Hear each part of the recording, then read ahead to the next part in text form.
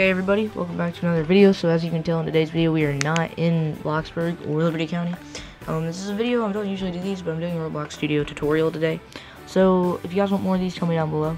And I'll see how the video does. I may do a couple more of these if you guys want me to, and if the video does well. So yeah, leave a like. But yeah, that's all for now. So, um, you can already tell by the title, I'm going to be showing you guys how to use your own custom Roblox um, textures. So as you can see here, this is not a Roblox wall texture, but I wanted to use it on this building. So I, I used my own custom texture, used my own custom shingles texture up here. And I really, really like um, using my own textures over Roblox textures. Unless there's something like concrete down here, which is, uh, I'm just going to leave that as Roblox concrete. But I'm going to be showing you guys how to do stuff like this. So I'm going to take this wall here, and we're going to try to do the texture on this wall. So we have the wall down here, and so what you're going to want to do first is you're going to want to make um, whatever you want to make, and then you're going to want to click on that part that you want to texture. And you're going to go over here into the Explorer tab, hit the plus, and then you're going to want to, it should be up here, if not you can just type it in, hit texture, and then you want to click right on the side you want it to be on. Hey, so this is editor me, I realize this might be a little bit confusing what I'm saying. So you click on the spot you want it, but you left click on the block, not right click, which is going to be surrounded in this orange triangle type box and so there it is.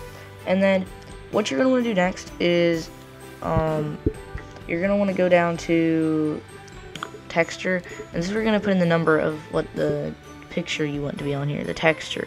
So next we're going to do is you're actually going to have to leave Roblox for a second and we're going to have to go over to Google. And so once you're on Google you're going to figure out what texture you want. Say for this we want a wall like wooden texture.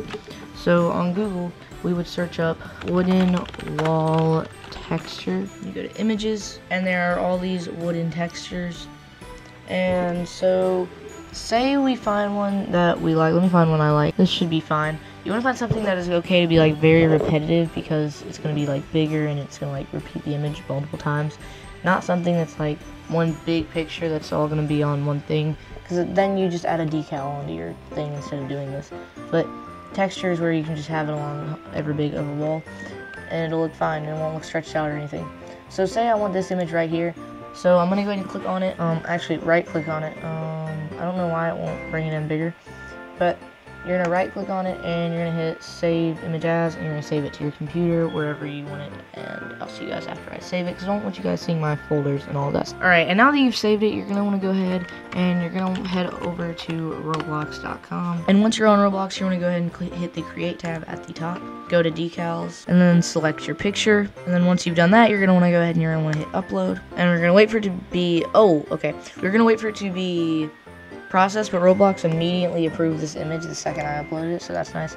But what you're going to do is you're going to want to go to configure. You don't have to open a link in a new tab. I just personally like doing that. And then once you have um, your image, this is approved. I don't know why it's not showing you here. But you're going to go up to the top, and in the URL, there will be a number. You want to take that number, and you want to copy it. Then you go back to Roblox Studio. You go down here in the properties of your texture, where it says texture. And you're going to do that, and then you're just going to paste the numbers in hit enter, and then boom, I have my texture right here. This was not a very good wood to put because you can really tell where the picture like cuts different little spots at. But there are some better ones, and uh, okay, so one way to fix this if your picture does this, your studs per tile, and you can put that up, and it doesn't look as bad now.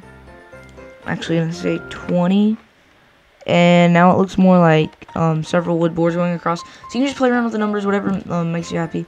And if you do want to put this on more than like one thing, but you don't want to keep like going at the little texture thing. So say you have like another wall right here, and you want texture there, you can take take this texture, right click it, copy it, and then you're gonna do Control V paste. Did not mean to do that. Control V paste and um, wherever your cursor goes is where it'll place it at. So say you want it on top of here again, you put it there. If you want it on this wall, you put it on that wall. Um, paste it in again, I put it there, paste. Nope, did not mean to put it on the ground. Just Control Z to go back if you do anything you want to undo. Um, I can just paste it, put it there. And you, can just really do whatever you want. So yeah, that is um today's um this video might be a little bit shorter, but it was just to inform you guys and help you guys out if you um needed a little building tip for how to do textures that aren't Roblox's like you know default textures like their materials, I guess. They're, they're textures of like foil marble. Cause some of those don't look good after a while. Um, some of them might have been better for today's video, but I don't know.